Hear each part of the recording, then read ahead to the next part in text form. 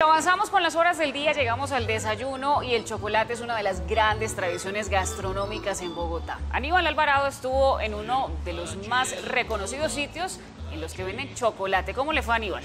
Muy bien, y aquí en el siguiente informe les vamos a entregar detalles de todo lo que sirven y además venden en este importante restaurante que arrancó hace más de ocho décadas. Aquí les entregamos información, les cuento cómo me fue. A ver.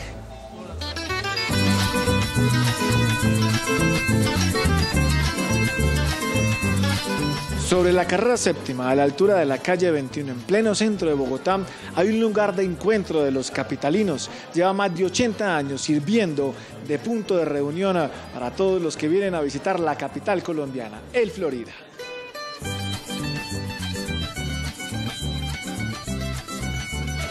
La Florida se inicia en 1933, la funda un catalán que llega a Colombia huyendo de la Guerra Civil Española. Él muere en el año 1968.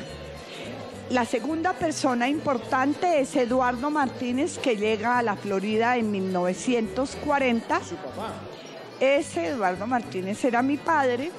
Él fallece en el año 2002 y es el autor del chocolate, de la receta que hoy tenemos del chocolate.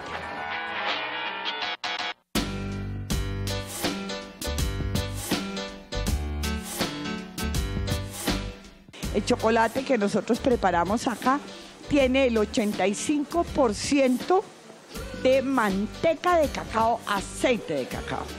El chocolate se prepara en esta máquina. Esto es una, en sus orígenes fue una greca. Yo diría que hoy es una caldera. Esta máquina tiene 83 años. Este es el chocolate del Florida. Además del chocolate y los postres, en el Florida también se vende pan. Es especial, debe ser consumido en máximo tres días. Mi padre le decía a unos panaderos, a los panaderos le decía, necesito que la amase, no que la maltrate. Acarícieme la masa, no me castigue la masa. Es un poco la idea de que el Florida no sea solo un lugar de venir a comer, es un lugar de encuentro. Con más de ocho décadas de tradición, este punto de encuentro, como lo llama doña Elsa Martínez, ha sido testigo de miles de conversaciones en sus 248 sillas y 67 mesas.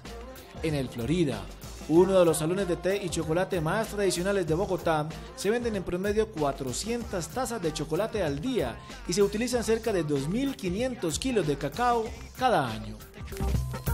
Bueno, esto es, digamos, la parte de atrás del Florida.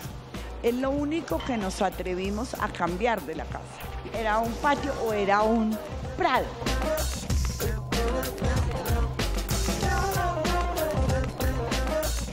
Estamos en el segundo piso de la casa. Esto para mí es una joya arquitectónica de finales del siglo XIX. Aspiramos a seguir siendo ese lugar de encuentro por muchas generaciones.